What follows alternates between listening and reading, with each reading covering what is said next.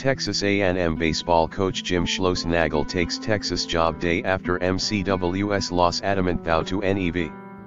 In the aftermath of losing the Men's College World Series to Tennessee on Monday Texas A&M baseball coach Jim Schlossnagle was adamant that he would never leave the program for another job. Hello please click join button to help me get equipments and make more quality videos for you, or you know just to get me a juice.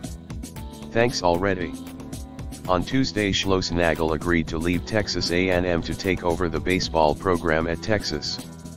Schlossnagle and the Longhorns confirmed the news Tuesday night following multiple reports. In three seasons in College Station Schlossnagle led the Aggies to three NCAA tournament appearances and two trips to the College World Series.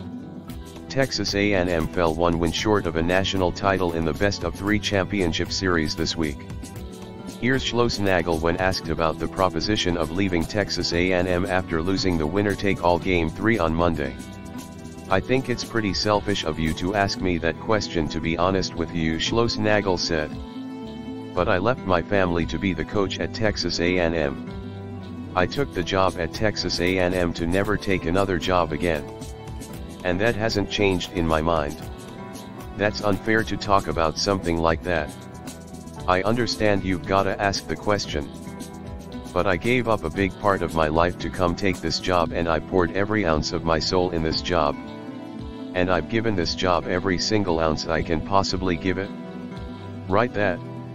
Schlossnagle apparently has given the last ounce he's ever going to give to Texas A&M. Less than 24 hours after that statement he's headed to Austin. Although I know many will be upset.